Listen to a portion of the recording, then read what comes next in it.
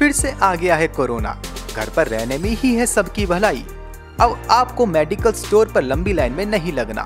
Big bliss लेकर आएगा। 10 minute में आपके घर पर दवाई। बिग ब्लिस खुशियों की अपनी दुकान।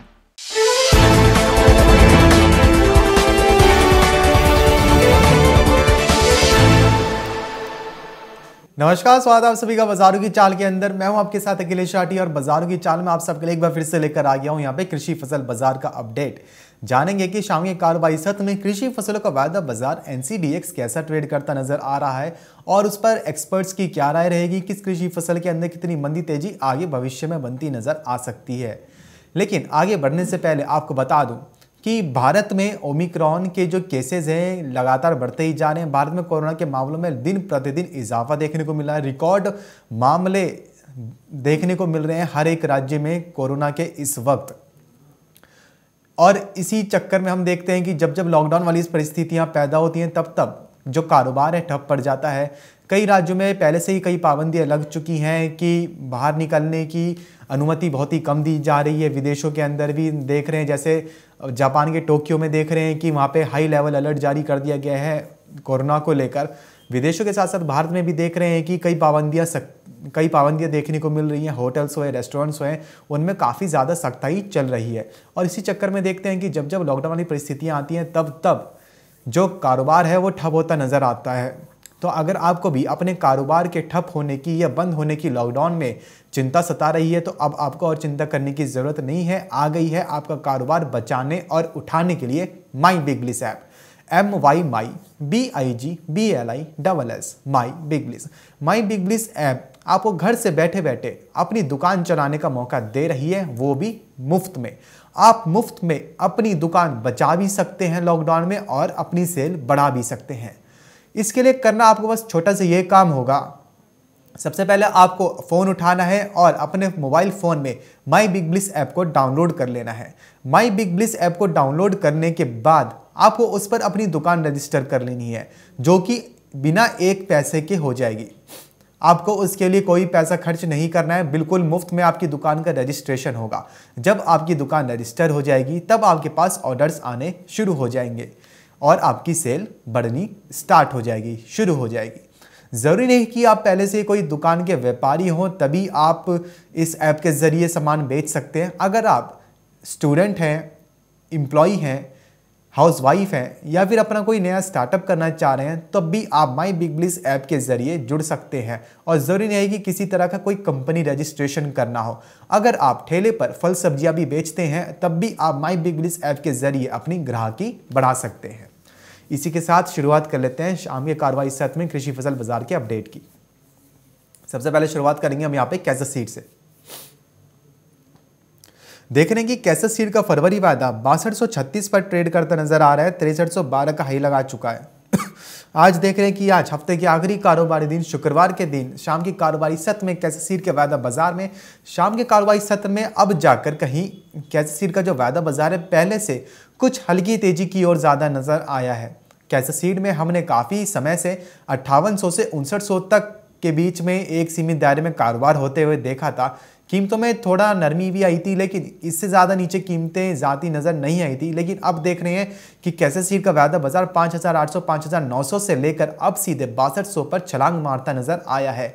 दरअसल कैसर का जो उत्पादन है, पिछले तीन सालों में कम रहने का अनुमान बताया जा रहा है कि इस बार कैसर का जो उत्पादन है, पिछले तीन सालों में कम रह सकता है। लगभग पंद्रह दशमलव नौ आठ लाख है नौ आठ लाख टन रह सकता है। पंद्रह दशमलव नौ आठ लाख टन इस बार कैसे सीड का उत्पादन बताया जा रहा है, जो कि पिछले तीन सालों में सबसे कम है। दूसरा जो क्वालिटी बताई जा रही है, कैसे की वो भी खराब बताई जा रही है। क्योंकि इस बार हमने काफ़ी ज़्यादा बेमौसम बरसात होते देखी है, जिसकी वजह से कैसे की जो क्वालिटी है वो प्रभावित हुई है। इसी की वजह से हमने कैसे की कीमतों में गिरावट बनते देखी थी। लेकिन आज देख रहे हैं कि निचले स्तरों से वायदा कारोबार में खरीदारी भी निकल के सामने आ रही है। वहीं फरवरी जनवरी ख़त्म होने को है, जनवरी का मध्य आ चुका है, फरवरी आने को है। फरवरी के आगमन पे या फिर मध्य तक हम देखेंगे कि कैसे की जो नई अराइवल है, जो नई आवकें हैं, वो आनी शुरू हो जाएँगी, जिसकी वजह से बाज़ार पर थोड़ा प्रेशर ज़रूर पड़ता नज़र आएगा। लेकिन अभी ओवरऑल शॉर्ट टर्म के लिए जो एक्सपर्ट बता रहे हैं, कैसे सीड के अंदर वो पॉजिटिव भी बता रहे हैं कि छोटी अवधि में कैसे सीड की कीमतों में तेज़ी देखने को मिल सकती है। अगर कैसे सीड का वायदा बाज़ार यहाँ से तेज़ी की ओर जाता है तो शॉर्ट टर्म में पैंसठ सौ, यानी सबसे पहले पोजिशनल बेसिस की बात की जाए तो पोजिशनल बेसिस पर कैसे सीट पैंसठ सौ के लेवल्स दिखा सकता है? फिर पैंसठ सौ के ऊपर अगर कैसे सीट सस्टेन हो जाता है और सस्टेनेबिलिटी अच्छी देखने को मिलती है, पैंसठ सौ के ऊपर के ट्रेडिंग देखने को मिलती है काफ़ी समय तक तो कैसे सीट छियासठ सौ, सड़सठ सौ तक के भी लेवल्स दिखा सकता है। ये सब बात करें अगर अब बिनौला खल की। तो बिनौला खल का फरवरी वादा देख रहे हैं, इकतीस पर ट्रेड करता नज़र आ रहा है। साढ़े तीन फ़ीसदी की गिरावट है। हम देख रहे हैं कि बिनौला खल का फरवरी वादे इकतीस पर ट्रेड करता नज़र आ रहा है। बत्तीस का लेवल तोड़ दिया है आज बिनौला खल ने। और साढ़े तीन फ़ीसदी की गिरावट के साथ ट्रेड करता नज़र आ रहा है। हम काफ़ी समय से देख रहे थे कि बिनौला खल का वायदा बाज़ार एनसीडीएक्स पर तैंतीस के ऊपर ट्रेड करता नज़र आ रहा था, सीमित दायरे में ट्रेड करता नज़र आ रहा था। ना ही ज़्यादा मंदी देखने को मिली थी, ना ही ज़्यादा तेज़ी। लेकिन अब देख रहे हैं कि कैसे बिनौला खल का वायदा बाज़ार तैंतीस का लेवल तोड़कर अब इकतीस के ऊपर ट्रेड करता नज़र आ रहा है। और ऐसी आशंका है कि अभी बिनौला खल का वायदा बाज़ार इकतीस के नीचे कभी लेवल दिखा दे। बिनौला खल में अभी यहाँ पे हो सकता है कि आने वाला कारोबारी सप्ताह में गिरावट देखने को मिले, क्योंकि हम देख रहे हैं कि यहाँ से जो करेक्शन ड्यू थी, अब वो यहाँ से थोड़ी गहराती नज़र आ सकती है। इस वक्त इकतीस पर ट्रेड करता नज़र आ रहा है। इकतीस का लो भी लगा चुका है। हो सकता है कि इकतीस के नीचे भी बाज़ार टूटता नज़र आ जाए। और बिनौला खल छोटी अवधि के लिए हो सकता है कि अभी एक सीमित दायरे में कारोबार करे कंसोलिडेशन वाली स्थिति बिनौला खल की कीमतों में बनती नज़र आए। लेकिन जो फंडामेंटल्स है, बिनौला खल के वो ओवरऑल मज़बूत ही हैं। फंडामेंटल्स जो बुनियादें हैं, वो तेज ही की ओर हैं बिनौला खल की। जैसे कि इस बार हमने कपास के उत्पादन में कमी आते हुए देखी है। मंडियों में अच्छी कपास की जो, अच्छी क्वालिटी की जो कपास है, कम देखने को मिल रही है। क्योंकि इस बार कीटों का प्रकोप कपास की फ़सल पर ज़्यादा देखने को मिला। और बेमौसम बारिश की वजह से भी कॉटन की जो, कपास की जो फ़सल थी, वो ख़राब होती नज़र आई। जिसकी वजह से कपास के बीजों में भी कमी है, कपास की फ़सल में भी कमी है और जब कपास के बीजों में कमी रहेगी तो उसकी कमी का असर बिनौला खल के स्टॉक पर भी पड़ता नज़र आएगा और उसी की वजह से देख रहे हैं कि इस बार बिनौला खल की कमी थोड़ी देखी गई है। वहीं इस बार दूध के उत्पादन में भी कमी देखी गई है। मिल्क प्रोडक्शन इन दूध का जो प्रोडक्शन है, उसमें भी कमी दर्ज की गई है। क्योंकि इस बार हमने देखा था कि लॉकडाउन लग गया था और जो पशु चारा, जो घास खिलाई जाती है पशुओं को, उसकी कीमतों में बढ़त देखने को मिली थी। जब पशुओं के ऊपर निवेश कम किया जाएगा, उनको पूरा प्रॉपर फीडिंग नहीं दी जाएगी, तब दूध का जो उत्पादन है, कम ही देखने को मिलेगा। और बिनौला खली एक मात्र ऐसा उत्पाद एक ऐसा प्रोडक्ट है, एक ऐसा उत्पाद है, जो पशुओं के अंदर दूध के फैट की मात्रा को और दूध की मात्रा को बढ़ा सकता है। इसलिए जानकारों द्वारा अभी हाल फ़िलहाल में ऐसी अटकलें लगाई जा रही हैं, ऐसा अनुमान लगाया जा रहा है कि आगे भविष्य में डेयरी सेक्टर और पोल्ट्री सेक्टर से बिनौला खल की इंडस्ट्रियल डिमांड में थोड़ी तेज़ी देखने को मिल सकती है। लेकिन हमने जब अभी बिनौला खल को चौंतीस तक के लेवल्स तक जाते हुए देखा था तब हमने देखा था कि ऊँची कीमतों पर बिनौला खल की जो खरीद फरोख्त थी, वो थोड़ी कम हो गई थी। क्योंकि जो पोल्ट्री और डेयरी उद्योग हैं, उनकी लागत लगातार बढ़ती ही नज़र आ रही थी, जिसकी वजह से उन्होंने भी थोड़ी खरीद फरोख्त कम कर दी। और सरकार ने भी इसके खल के ऊपर बोल दिया है कि खल को कोई ज़्यादा दिनों तक स्टॉक करके नहीं रख सकता है। हमने इसकी खबर आपको पहले भी दे चुके हैं। अभी ओवरऑल रुझान बिनौला खल की कीमतों में तेज़ी का ही रहेगा। इंडस्ट्रियल डिमांड जानकारों द्वारा अभी भी उठती नज़र आ सकती है। मिल्क पाउडर और दूध की कीमतों में भी बढ़ोतरी देखने को मिल सकती है। तो ओवरऑल रुझान बिनौला खल में तेज़ी का ही है। हमारे जो एक्सपर्ट हैं, केडिया एडवाइजरी के डायरेक्टर अजय केडिया, उनके मुताबिक बिनौला खल आने वाले दिनों में अड़तीस से लेकर 4000 तक की भी लेवल दिखाता नज़र आ सकता है। और अगर शानदार बढ़त रही और अगर डिमांड बहुत ही ज़्यादा देखने को मिली तो हो सकता है कि 4000 के भी ऊपर बिनौला खल की कीमतें वायदा बाज़ार में निकल जाए। चार हज़ार का भी आंकड़ा पार कर जाए तो कोई ज़्यादा बड़ी बात नहीं होगी। बिनौला खल में ओवरऑल तेज़ी का ही रुझान है। यहाँ से बात करें अगर मसालों की तो मसालों में देख रहे हैं कि धनिया का अप्रैल वायदा दस हज़ार चौरानवे पर ट्रेड करता नज़र आ रहा है आधे फ़ीसदी की तेज़ी के साथ। हम देख रहे हैं कि धनिया की कीमतों में काफ़ी ठीक ठाक तेज़ी बनती नज़र आ रही है। धनिया में हमने पहले एक सीमित दायरे में कारोबार देखा था 9000 के ऊपर, फिर हमने देखा अचानक से 10000 के भी पार निकला। धनी की कीमतों में लगातार देख रहे हैं। के बाद एक तेज़ी बनती नज़र आ रही है। हालाँकि वायदा बाज़ार में उठापटक जारी रहती है। तेज़ी के बाद मंदी भी ज़रूर बनती है। वायदा बाज़ार का नियम है। लेकिन अगर फंडामेंटली बात की जाए तो फंडामेंटली बिना धनिया का जो रुझान है, वो तेज़ी की ही ओर है। दरअसल इस बार धनिया की जो पाइपलाइन है, खाली है। उत्पादन इतना देखने को नहीं मिला है, क्योंकि बुआई भी घटी है। मुख्य उत्पादक राज्यों में धनी की बुआई में कमी देखने को मिली है। पाइपलाइन पहले से ही खाली थी, धनी की शॉर्टेज पहले से ही देखने को मिली थी और जो पुराना स्टॉक था, जिसे कैरी फॉरवर्ड और कैरी ओवर स्टॉक कहा जाता है, वो भी बहुत ही ना के बराबर है, या फिर ऐसा कह सकते हैं कि है ही नहीं, जिसकी वजह से धनी की शॉर्टेज हो, देखने को मिल रही है और उसी की वजह से हम देख रहे हैं कि धनी की जो कीमतें हैं, वायदा बाज़ार में लगातार दस हज़ार के ऊपर सस्टेनेबिलिटी के साथ ट्रेड करती नज़र आ रही हैं। जानकारों के अनुसार धनिये में आगे तेज़ी का ही रुझान है। देने की कीमतों में अभी और अच्छा उछाल आता हुआ नज़र आ सकता है। जो एक्सपर्ट्स बता रहे हैं जो मार्केट एक्सपर्ट्स बता रहे हैं यहाँ से बता रहे हैं कि जान धनिया अभी 12,000 तक की भी लेवल्स दिखाता नज़र आ सकता है। साल 2022 में मसालों में धनिया काफ़ी शानदार रिटर्न देता नज़र आ सकता है। धनिए की कीमतों में आगे अभी और तेज़ी देखने को मिल सकती है चाहे वायदा हो चाहे हाजिर हो। एक्सपर्ट्स ने हाजिर कारोबारियों के लिए ये सलाह दे रखी है अभी हाल फ़िलहाल में कि जो हाजिर कारोबारी हैं, अभी कुछ तेज़ी में अपना माल निकाल दें, बाकी थोड़ा माल अपने लिए आगे की अच्छी तेज़ी के लिए बचा के भी रखें, जिससे कि ज़्यादा तेज़ी में भी माल को निकाला जा सके और अच्छा मुनाफा कमा के चला जा सके। यहीं से बात करें अगर जीरे की तो जीरे का मार्च वायदा देख रहे हैं, अट्ठारह पर ट्रेड करता नज़र आ रहा है। हमने जीरे को 16,000 के ऊपर ट्रेड करते नज़र करते देखा था फिर 17,000 गया था। अब देख रहे हैं कि अचानक से जीरा 18,000 के ऊपर ट्रेड करता नज़र आ रहा है। जीरे की कीमतों में भी अच्छी खासी तेज़ी बनती नज़र आ रही है। लेवल्स अच्छे खासे देखने को मिले ठीक ठाक लेवल्स बनते नज़र आ रहे हैं। आपको बता दें कि जीरे के भी जो फंडामेंटल्स हैं ठीक ठाक हैं। जीरे में अब एक्सपोर्ट डिमांड जीरे की पिकअप होने की बातें कही जा रही है। मार्केट के अंदर ऐसे सेंटिमेंट्स बनते नज़र आ रहे हैं ऐसी बातें हो रही हैं। कि अब जीरे की जो एक्सपोर्ट डिमांड है, यानी कि जो निर्यात मांग है, वो थोड़ी पिकअप होती नज़र आ सकती है। जीरे की निर्यात मांग में थोड़ी बढ़ोतरी हो सकती है। यूरोपीय देशों से और जो खाड़ी देश है, वहाँ से जीरे की जो एक्सपोर्ट डिमांड है, वो निकल सकती है। और अगर पिकअप होती है डिमांड तो जीरे की जो कीमतें हैं, वो बीस हज़ार का भी आंकड़ा आसानी से पार कर सकती हैं, ऐसा अभी एक्सपर्ट्स का मानना है। तो जीरे में भी साल 2022 में काफ़ी शानदार तेज़ी देखने को मिल सकती है। आपको बता दें कि अभी शादी ब्याह का सीज़न चल रहा है भारत में। हालाँकि कोरोना की वजह से पाबंदियाँ भी देखने को मिल रही हैं, जिसकी वजह से डिमांड में भी थोड़ी बहुत उठापटक देखने को मिल रही है अभी। लेकिन अभी ऐसा कोई लॉकडाउन वाली स्थिति पूरी तरह से नहीं बनी है कि पूरी तरह से लॉकडाउन लग चुका है या फिर शादी समारोह में सिर्फ़ इतने ही लोग शामिल हो सकते हैं। अभी ऐसी कोई ज़्यादा गाइडलाइंस देखने को नहीं मिली हैं। तो हो सकता है कि शादी समारोह में ज़्यादा लोग इकट्ठे होने से मसालों की जो डिमांड है वो थोड़ी बढ़ जाए। दूसरा, आगे अभी होली भी है, मार्च में होली आती है, रमज़ान का महीना भी रहता है। तो खाड़ी देशों से, यूरोपीय देशों से भारतीय मसाले की जो मांग है, अच्छी खासी देखने को मिल सकती है। अभी हाल फ़िलहाल में ऐसी अटकलें लगाई जा रही हैं। अब बाकी कोरोना के केसेस पर डिपेंड करता है कि आगे इन फ्यूचर कोरोना के केसेस कैसे रहते हैं लॉकडाउन लगता है, नहीं लगता है इंपोर्ट एक्सपोर्ट की गतिविधियाँ कैसी रहती हैं लॉकडाउन के दौरान या बिना लॉकडाउन के, इस पर भी काफ़ी मैटर करता है।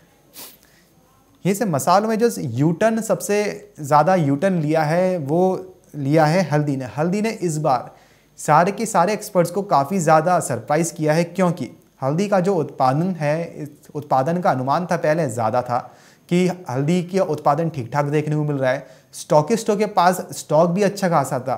मंडियों में अवेलेबिलिटी हल्दी की ठीक ठाक थी और जो कैरी फॉरवर्ड स्टॉक था, जो पुराना स्टॉक था हल्दी का, वो भी ठीक ठाक ही था।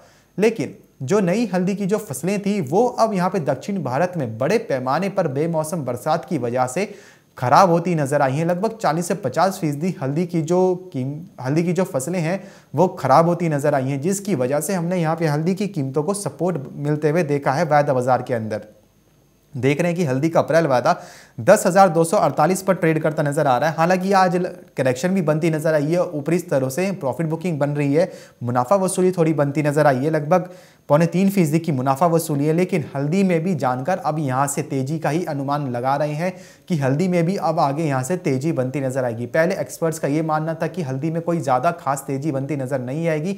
सारे ही एक्सपर्ट्स ने हल्दी में गिरावट का अनुमान लगाया था, लेकिन अब जो फंडामेंटल्स चेंज हुए हैं फंडामेंटल्स के अंदर चेंजेस आए हैं अब उसको देखते हुए, उसके मद्देनज़र जितने भी एक्सपर्ट्स हैं, हम बता रहे हैं कि हल्दी की कीमतों में आगे जाके तेज़ी देखने को मिल सकती है। अभी दस हज़ार का, दस हज़ार दो सौ पर ट्रेड करती नज़र आ रही है। धीरे धीरे हल्दी तेज़ी की ओर जाती नज़र ज़रूर आएगी।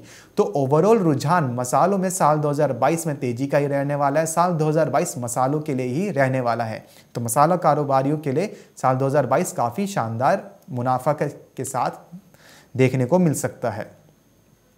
ये सब बात करें अगर अब ग्वार कॉम्प्लेक्स की तो देख रहे हैं कि ग्वार गम का फरवरी वायदा ग्यारह सौ पर ट्रेड करता नज़र आ रहा है। देख रहे हैं कि ग्वार गम के फरवरी वायदा के अंदर साढ़े तीन फ़ीसदी की करेक्शन बनती नज़र आ रही है और गवार सीड का फरवरी वायदा देख रहे हैं बासठ सौ अट्ठावन पर ट्रेड करता नज़र आ रहा है ढाई फ़ीसदी की गिरावट के साथ। देख रहे हैं कि गवार गम और गवार सीड में दोनों में ही आज हफ़्ते के आखिरी कारोबारी दिन, शुक्रवार के दिन, शाम के कारोबारी सत्र में करेक्शन देखने को मिल रही है लोअर सर्किट्स देखने को मिल रहे हैं। आपको बता दें कि गवार गम और गवार सीड में हमने आज सुबह के कारोबारी सत्र तक, हफ़्ते के आखिरी कारोबारी दिन के सुबह के कारोबारी सत्र तक ठीक ठाक तेज़ी बनती देखी थी, लेकिन सुबह जैसे ही सेकेंड हाफ़ हुआ, ग्वार गम और गवार सीर में जो करेक्शन है, वो थोड़ी हावी होनी स्टार्ट हो गई, शुरू हो गई। हमने गवार गम को इस कारोबारी सप्ताह बारह हज़ार के ऊपर ट्रेड करते देखा है और गवार सील को चौंसठ सौ के ऊपर।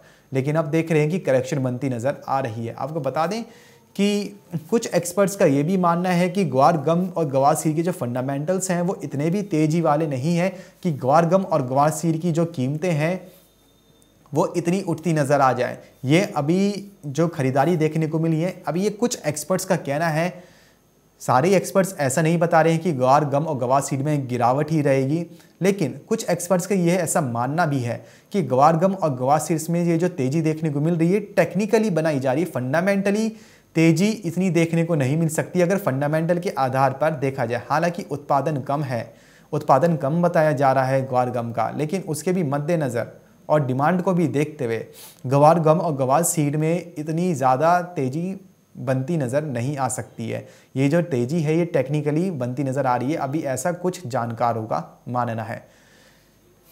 लेकिन अभी हाल फ़िलहाल में देख रहे हैं कि गौरगम गवासीर में जो ऊपरी स्तर से मुनाफा वसूली बनी है, वो थोड़ी और हावी होती नज़र आ सकती है। गवारगम और गवासीर में हो सकता है कि आने वाला कारोबारी सप्ताह थोड़ा ऐसी रेंज वाला रहे। निचले स्तर और भी देखने को मिल जाए गवारगम और गवासीर के अंदर।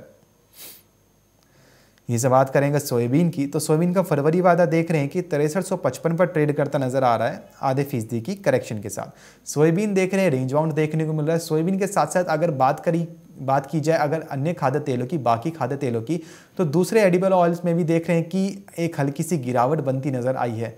दरअसल चुनाव आने वाले हैं, सरकार भी नहीं चाहती है कि जो आम जनता है, सरकार को महँगाई को लेकर, कोसे या फिर महँगाई को लेकर वोटों में कमी देखने को मिले, जिसकी वजह से हमने खाद्य तेलों की कीमतों में कमी आते हुए देखी है। सरकार की प्रयासों का ही नतीजा है कि अभी हाल फ़िलहाल में जितने भी बड़ी बड़ी कंपनी थी खाद्य तेलों की चाहे सोयाबीन का तेल हो, चाहे सरसों तेल हो, सब में हमने कमी आते हुए देखी है। लेकिन पहले के मुकाबले जो कीमतें हैं अभी भी कम देखने को नहीं मिली है। हालाँकि साल 2021 में सरसों का रिकॉर्ड उत्पादन बताया जा रहा था और हमने रिकॉर्ड उत्पादन होता हुआ भी देखा, लेकिन तब भी खाद्य तेल की जो कीमतें हैं कम होती नज़र नहीं आई। वहाँ से बात करें सोयाबीन की तो सोयाबीन में हम देख रहे हैं कि भारत में, पहले तो सोपा ने कहा था कि 119 लाख टन का सोयाबीन का उत्पादन हो सकता है। पिछले साल के मुकाबले, यानी कि साल 2021 में सोपा ने जब सर्वे किया था सोयाबीन का तो उत्पादन का अनुमान दिया था कि लगभग 119 लाख टन के आसपास सोयाबीन रह सकती है। और 14 से 15 फ़ीसदी साल 2020 के मुकाबले साल 2021 में तेज़ी रह सकती है सोयाबीन के उत्पादन में। लेकिन अब सोपा ने वो भी आंकड़ा घटा दिया है। 112 113 लाख टन का कर दिया है और 8 फ़ीसदी की तेज़ी रखी यानी कि साल 2020 के मुकाबले साल 2021-22 के सोयाबीन के उत्पादन में 8 फ़ीसदी की बढ़ोतरी देखने को मिल सकती है। लेकिन अभी भी देख रहे हैं कि सोयाबीन की जो उपलब्धता है मंडियों के अंदर काफ़ी कम देखने को मिल रही है, जिसकी वजह से जो पूरे आंकड़े हैं उन पर एक पिक्चर क्लियर नहीं हो पा रही है। यहीं से बात करें अगर विदेशों की तो विदेशों में देख रहे हैं कि ब्राज़ील और अर्जेंटीना, जो साउथ अमेरिका के पार्ट हैं, वहाँ पर सूखे के हालात हैं और ब्राज़ील और अर्जेंटीना के सोयाबीन का जो उत्पादन है, वो वैश्विक सोयाबीन के उत्पादन में काफ़ी महत्वपूर्ण स्थिति रखता है, यानी महत्वपूर्ण स्थान रखता है। ऐसा इसलिए क्योंकि अर्जेंटीना और ब्राज़ील सोयाबीन के मुख्य उत्पादक देशों में से एक है और निर्यातक देशों में से भी। अगर ब्राज़ील और अर्जेंटीना में सोयाबीन का उत्पादन कम ज़्यादा रहता है तो उसका असर पूरे ही वैश्विक सोयाबीन पर की सप्लाई पर पड़ता नज़र आता है और फिर वही सोयाबीन की आगे कीमतों को निर्धारित करते हैं। हमने देखा था कि साल 2020-21 में ब्राज़ील और अर्जेंटीना के सोयाबीन की उत्पादन की जो हिस्सेदारी थी, वो ग्लोबल सोयाबीन के उत्पादन में, यानी कि वैश्विक सोयाबीन में लगभग आधी रही थी। तो इसी बात से अनुमान लगाया जा सकता है कि इस बार जो ब्राज़ील और अर्जेंटीना में वर्तमान में सूखे के हालात बन रहे हैं, उसके मद्देनज़र ब्राज़ील और अर्जेंटीना में सोयाबीन के उत्पादन में कटौती जो की गई है, वो सोयाबीन की कीमतों में आगे मंदी लाएगी या तेज़ी लाएगी, ये इस पर भी डिपेंड करेगा कि आगे मौसम कैसा रहता है। क्योंकि ब्राज़ील और अर्जेंटीना में अभी करंट में तो सूखा देखने को मिल रहा है, लेकिन जो वेदर फोरकास्टिंग के जो जानकार हैं, जो एक्सपर्ट हैं, जो मौसम विशेषज्ञ हैं वहाँ के, उनका ये भी कहना है कि आने वाले दिनों में ब्राज़ील और अर्जेंटीना में बारिश का भी अनुमान लगाया जा रहा है कि ब्राज़ील और अर्जेंटीना में आने वाले कुछ दिनों में बारिश भी देखने को मिल सकती है। तो यानी कि लगभग एक महीने के अंदर अंदर सोयाबीन की जो पिक्चर है वो क्लियर होती नज़र आ सकती है। सोयाबीन का आगे रुझान कैसा रहेगा, कैसा नहीं रहेगा? ये अभी वहाँ पर अर्जेंटीना और ब्राज़ील में बारिश कितनी होती है, कितनी नहीं होती है, इस पर भी डिपेंड करेगा। अभी अगर बारिश अच्छी होती है तो उत्पादन थोड़ा बढ़ सकता है, ज़्यादा रह सकता है, अगर कम रहती है तो उत्पादन घट सकता है। उसकी भी जानकारी आपको आगे देते रहेंगे, जैसे वहाँ पे आंकड़े साफ़ हो जाते हैं और बारिश की स्थिति का पता चलता है, वैसे भी आपको सोयाबीन की विदेशों के बारे में बताते रहेंगे विदेशों में सोयाबीन का क्या हाल चल रहा है। ओवरऑल अभी कीमतों की बात की जाए तो वैश्विक सोयाबीन की कीमतों में तेज़ी है। विदेशों में सोयाबीन की कीमतों में तेज़ी देखने को मिल रही है। अमेरिका में सोयाबीन की पैराई में बढ़ोतरी देखी गई है। चाइना में सोयाबीन का आयात घटा है। वहीं भारत में किसानों ने सोयाबीन को स्टॉक करके अभी भी रखा हुआ है। भारतीय किसानों को उम्मीद है कि आगे जाके सोयाबीन की कीमतों में तेज़ी देखने को मिल सकती है। और इसी उम्मीद में किसानों ने अभी भी सोयाबीन को स्टॉक करके रखा हुआ है। तो ये था एक छोटा सा कृषि फ़सल बाज़ार का अपडेट कि हफ़्ते के आखिरी कारोबारी दिन, शाम के कारोबारी सत्र में किस कृषि फ़सल के अंदर कितनी मंदी, तेज़ी बनती नज़र आ रही है और उस पर हमारे एक्सपर्ट्स की क्या राय थी। फ़िलहाल बाज़ार की चाल में अभी के लिए बस इतना ही। मुझे दीजिए इजाज़त। नमस्कार। वार्ड्रोब को अपडेट है करना। तक बिग ब्लिस के क्लोथिंग सेक्शन को एक्सप्लोर है करना। बिग ब्लिस खुशियों की अपनी दुकान।